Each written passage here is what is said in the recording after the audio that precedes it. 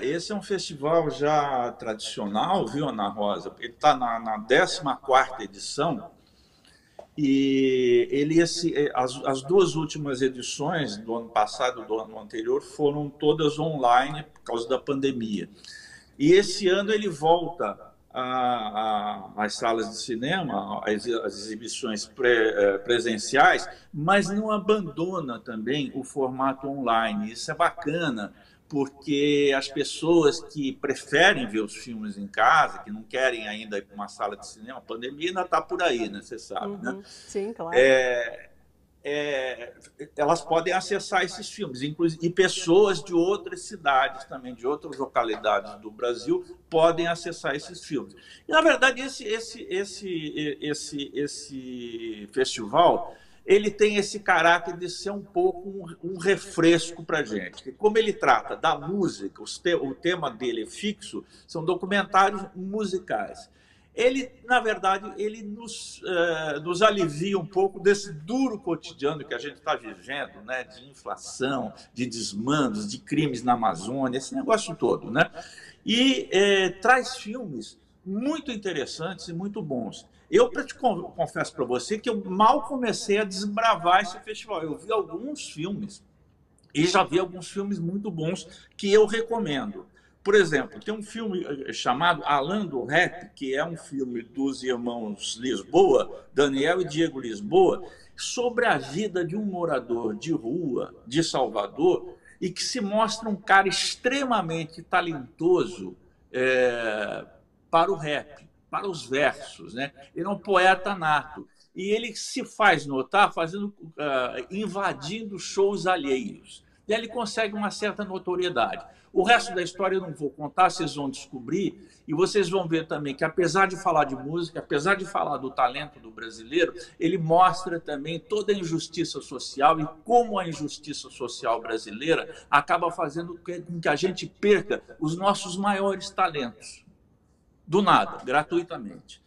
É, Alan do Rap. Então, eu reconheço, é, recomendo esse filme. Outro filme interessante é As Faces de Mal, do Delane Lima e Lucas Barbie, que é, traz uma outra figura das mais interessantes também, que é um misto de professor da história e líder da banda punk rock Garotos Podres.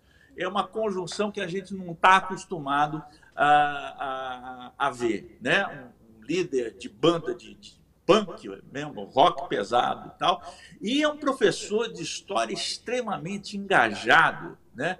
Os alunos adoram ele e tal. Então a gente vê o mal nessa, nessa sua dupla face de atuação que é muito interessante. Eu te confesso, eu não sou muito chegado a punk rock e tal, mas eu sou chegado a, a, a, a as aulas de história, gosto muito de história, Do mal, né?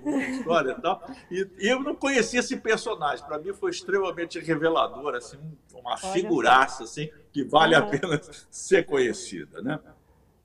Tem outro filme aqui que eu já comentei, porque ele já passou num outro festival, não me lembro, alguém algum festival de recente de cinema, que é um filme sobre o Belchior, apenas um coração selvagem da Natália Dias e Camilo Cavalcante, que é um documentário muito legal sobre o Belchior e que faz tem a seguinte característica, ele não tem nenhuma palavra de especialista sobre o Belchior, tem apenas as falas dele, gravadas pelas entrevistas que ele deu ao longo da vida, né? E as músicas maravilhosas dele, que são músicas que marcaram a trajetória da MPB eh, nos anos recentes, né? Então, uhum. muito bom para quem é fã do Belchior eh, acompanhar esse documentário e para quem não conhece direito a obra dele, melhor ainda para ficar é, conhecendo a trajetória dele, tão importante, um poeta tão potente, tão poderoso, né? e que tem, que já nos deixou, já partiu, mas deixou um legado maravilhoso para nós aí. As obras dele estão, os discos dele estão é, é, aí disponíveis, seja na forma física, seja nos serviços de streaming. Sim. Outro, outro documentário que eu vi, é, muito interessante, um tema, veja que, veja que interessante esse tema, é um documentário é. chamado Bandoneando, é, de um diretor chamado Diego Miller, um diretor é, gaúcho. Hum. O que, que ele faz? Ele faz uma prospecção, ele vai ao interior do Rio Grande do Sul, que é o que eles chamam lá da campanha Rio Grande, ao Pampa Rio Grande, e vai atrás de músicos de bandoneon negros. O bandoneon é um instrumento, é parecido com a nossa sanfona, com a nossa harmônica, só que ele é muito mais associado ao tango. Né? Os, os grandes cantores de tango, os grandes músicos de tango, por exemplo, Astor Piazzolla, tocavam um bandoneon magnífico. Né? E a gente não associa o bandoneon nem à música brasileira e muito menos a essa música do interior tal, e tocada por músicos negros. Então ele faz uma descoberta extraordinária de que existe uma espécie de uma tradição de músicos negros espalhados pela campanha rio-grandense e que cultivam esse instrumento e tocam esses instrumentos, fazendo uma espécie de mescla da tradição portenha desse instrumento com os ritmos brasileiros, especialmente os ritmos gauchescos. Eu achei muito interessante esse documentário, viu? Eu recomendo muito, porque eu também, é outra coisa também. É, cinema é descoberta. E eu descobri claro. uma realidade nesse filme que eu não conhecia e nem suspeitava dela. E tem para todo gosto, né, Zanin? Todo tipo de música, do punk rock, vamos para o rap, aí a gente vai para música regional, para o tango, referência de tango, tem de tudo, né? Tem de tudo, tem de tudo, menino. E é um universo de filmes aí que, que a gente às vezes não tem nem tempo de ver tudo. São finíssimos biscoitos aí à, uhum. à nossa disposição e que a gente não tem tempo, às vezes, de, de, de ver tudo. Mas a, tem que tentar, né? Por exemplo, tem um, um, documentário, que é um documentário feito nos Estados Unidos, chamado Ivo Perelman a, a musical storyteller, né? um, um, contador de histórias musicais, uhum. que é dirigido pelo Leonel Costa, que eu te confesso também que não conheço. Mas o Ivo Perelman eu já conhecia, eu sou fã de música, sou fã de jazz, e eu já conhecia. O que eu não sabia, e descobri vendo esse documentário, é que é, o, o Perelman é um extraordinário saxofonista é, que se radicou nos Estados Unidos, mora muitos anos nos Estados Unidos, e hoje ele é muito mais conhecido nos Estados Unidos do que aqui no Brasil. Né? Ele faz um tipo de jazz extremamente sofisticado e de vanguarda, que é o free jazz. Né? Hum. que não é para todos os gostos, é, pra, é, um, é, um, é, um, é um público mais restrito. E dentro desse público restrito, o nome dele é, é assim, é reputado como, como um mestre nessa arte. Né? E ouvi-lo tocar é uma coisa assim, a gente precisa ter um pouco de paciência no começo, porque não é aquele, aquele tipo de música mais óbvia que a gente está mais acostumado, que o nosso ouvido está mais acostumado. Mas é extremamente recompensador quando você começa a ouvir, começa, começa a se habituar e aí você vê o nível de invenção e de criatividade desse cara é, é muito grande.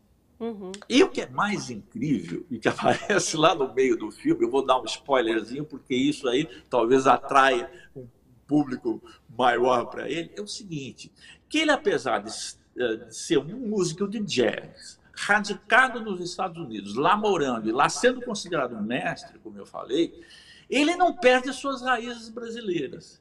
Ele coloca no meio da música dele muita coisa da música brasileira. E ele veio para o Brasil, foi para o estado do Ceará, onde ele uh, uh, realizou um trabalho conjunto com músicos uh, cearenses, músicos populares cearenses, e faz um cruzamento entre esse jazz de vanguarda e as músicas mais tradicionais é, é, da cultura popular nordestina cearense, é, no caso mais específico. É uma mistura que teria tudo para dar errado, o incrível é que dá certo. É, é, provando que a música é uma das artes que mais se beneficia do intercâmbio, da mescla de culturas, né? dessa miscigenação é, de tendências, de ritmos, de modos de expressão, de instrumentos diferentes. Então é o maior barato isso aí, viu? Eu recomendo para quem gosta de música, assista esse, esse documentário. E assista também o, o, documentário chamado Cesária Évora, que é uma cantora que foi muito famosa, já Cesária falecida Évora, também. É, teve aqui no Brasil, né? se apresentou aqui no Brasil. Ela é originária de Cabo Verde, teve aqui no Brasil e, e viu a na Eu fui a um show dela, uma coisa absolutamente inesquecível, aquela mulher cantando coisa, assim, de uma profa, aquela música que vem do fundo da alma da pessoa, assim, e que passa para você. É uma uhum. maravilha. E esse documentário, que é de uma, é de uma diretora chamada Ana Sofia Fonseca, é, ele é muito bom, esse documentário. Ela, ela, ela acompanha a cesárea em várias crudezas, fala da vida da cesárea, que foi bastante complicada, da minha vida pessoal dela, bastante enrolada e tal e, e, e, traz muito da música, da música de Cabo Verde, que é uma música muito rica. E é uma música, às vezes, muito parecida com a música brasileira. Né? Eles têm ritmos, as mornas, né? Uhum. É, e tem, tem ritmos assim que parecem, às vezes, o nosso samba, lembram? Parece o nosso, nosso chorinho, o choro, né? Parecem as nossas canções, samba canções, assim. É, parece bem aproximado, parece assim que, que existe um elo muito grande, existe na verdade, né? entre o Brasil e essa música africana, né? como se houvesse um oceano aí que não nos separasse. Né? Uhum. Então é muito rico é, ver é, é, é esses intercâmbios musicais. E aí, no caso da Cesária Évora, que é uma personagem é, absolutamente encantadora, eu tenho certeza que quem não conhece vai ficar apaixonado por essa mulher, vai começar a escutar as coisas dela. Vai, vai achar maravilhoso, né?